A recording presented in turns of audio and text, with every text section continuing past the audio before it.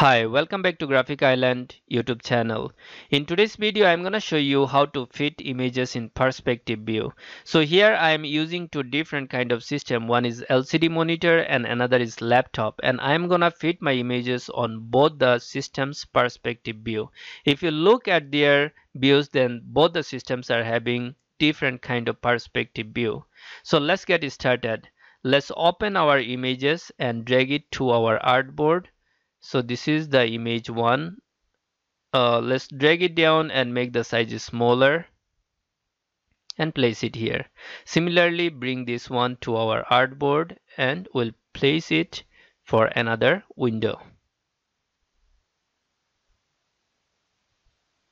Let's make the image little bit more smaller by dragging it down if you try to make images perspective directly in Adobe Illustrator, it does not work.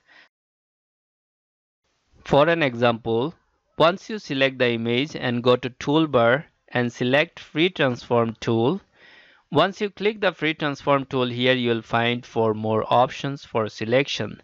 But here we'll use only free distort tool.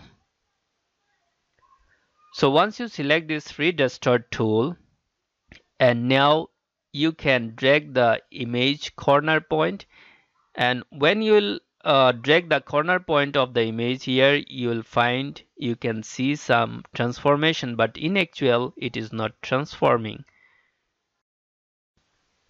To make image perspective in Adobe Illustrator the first step is to trace the image with high fidelity. So here is a trace option for the image. And if you look at the trace uh, option at the right hand side here you can find an arrow mark. This is a drop down menu. And here we'll choose the second option.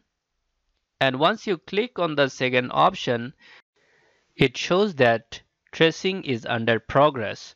So why we choose the second option this high fidelity option? Because we need to keep the image color details everything as it is as in Adobe Illustrator, without vectorizing, we cannot distort the image. We cannot make it perspective. So that's the reason we are bound to go under this process.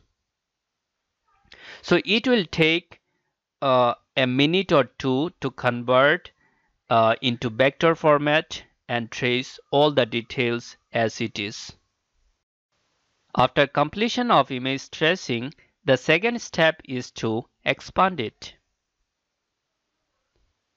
After doing expand, now go to toolbar and select free transform tool. You can also use shortcut key on your keyboard. Out of four options of free transform tool, select free distort tool at the bottom and now drag the anchor point of vector image and drag it to uh, left top corner of the desktop and leave it here.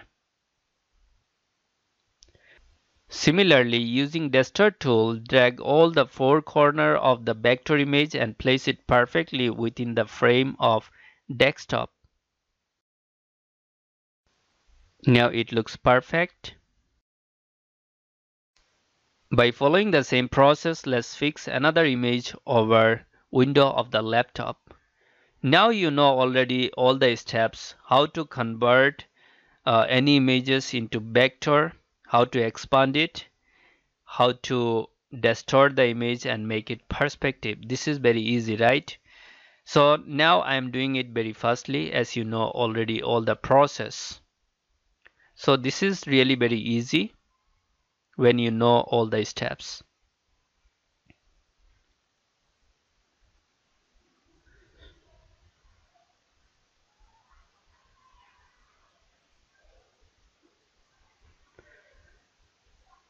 So this way you can fix any images into perspective view.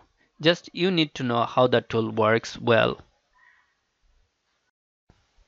Hope this video was helpful for you. If you have any doubts yet, you can write on comment. And uh, thank you for watching. See you in next video.